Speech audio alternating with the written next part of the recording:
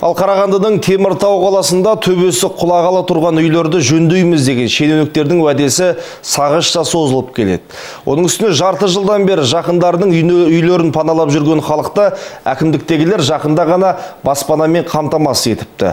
Тұрғындар жергілікті биліктің шатыры металл тіреуіш арқылы тұрған көп қабатты үйлердің үш пәтерін тұруға жарамсыз деп танығаннан кейін қарасын көрсетпегенін айтады бесплатный үкімет істеп береді деп шыға жіберді. Үйімді шенеуніктердің сөзіне сеніп босаттым деген игілік әбдірашитов пәтерлері апатты деп танылған үш отбасының бірі. Арман болып қалған пәтерінің төбесі ортасына түсуге шақ. Шатырды жарты жылдан бері мына металл тіреуіштер ұстап тұр. Бірақ оның көпке жетпейтінін мойындаған атқамінерлер баспананы жөндеуге асықпай отыр дейді. Платный ремонт деді қазір деді.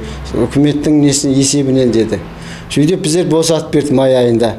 Содан бері осы жүрміз Ал екі бірдей сараптама жүргізіп, үш пәтерді тұруға жарамсыз деп таныған әкімдіктегілер құрылыс компаниялары арасында тендер жариялапты. Іске білек тұрып кіріскен жергілікті билік өкілдері жарты ғасырдан бері жөнделмеген үйлерді толыққанды қалыпқа келтіреміз деп уәде берді. Бұл үлкен қадағалауда бұл міндетті түрде біз оны қадағалаймыз өйткені енді ол біздің тұрғындарымыз біздің теміртау қаласының енді үй алпысыншы жылдар салынған үйлер ғой енді өздеріңіз білесіздер сондықтан енді ондай үйлер бізде болмай тұрмайды енді ондай апатты жағдай болғаннан кейін оған қазір енді бізге енді ең бірінші жаңағы компанияның шешімі керек пәтерлері апатты деп танылған тұрғындарды уақытша баспанамен қамтамасыз еткен атқамінерлер қазір қаражат жағын қарастырып жатырмыз дейді алты айға созылған мәселені шенеуніктер алты аптаның ішінде ретке келтіреміз деп отыр ал күндерін пәтерлерін торуылдаумен өткізетін тұрғындардың шенеуніктердің кезекті уәдесіне сенуден өзге амалдары жоқ мейрамгүл салқынбаева жасұлан мақұлбеков отыз бірінші арна